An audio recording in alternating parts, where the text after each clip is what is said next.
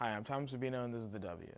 Critically acclaimed and Oscar-nominated actor Joaquin Phoenix has recently been picked up for the controversial role of DC Joker's the comic in an upcoming solo film. Following this announcement, fans were split. Many fans against the casting point out that Heath Ledger's portrayal of the psychotic clown in 2008's The Dark Knight is unmatchable. Director of the upcoming Joker film, Todd Phillips, has released several images of the Joker in its full makeup and suit. Phillips revealed a short video of Phoenix playing the villain. Should laugh, but I cry because your love has passed me by. You took me by surprise.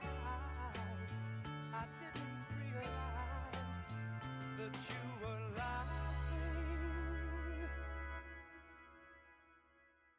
Phoenix is feeling the pressure of playing that role, telling reporters, Did I live up to their expectations? The plot of the film is still unknown, but it's expected to be off kilter. Phoenix states, I wouldn't quite, quite classify it as any genre. I wouldn't say it's a superhero movie or a studio movie.